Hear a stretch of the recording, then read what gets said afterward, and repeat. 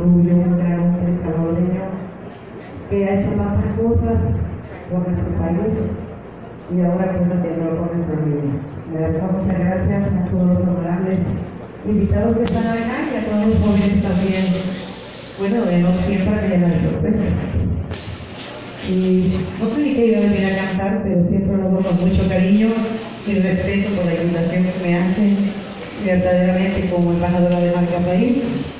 Soy de todos ustedes para lo que yo pueda servir. Bueno, adelante la banda.